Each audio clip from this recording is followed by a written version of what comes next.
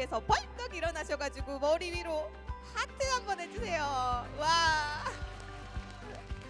안녕하세요. 민초를 극도로 혐오하는 3학년 2반 이연지입니다. 원 테이블 식당을 읽고 유니게 작가님을 정말 뵙고 싶었는데 이렇게 만나 뵙게 되어서 정말 기쁩니다.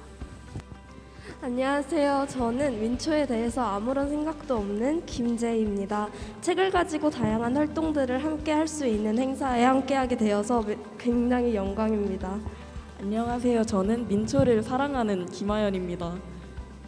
어, 이 행사를 통해서 공연도 보고 퀴즈 같은 것도 하고 작가님도 만나뵐 수 있어서 네, 좋습니다. 반갑습니다.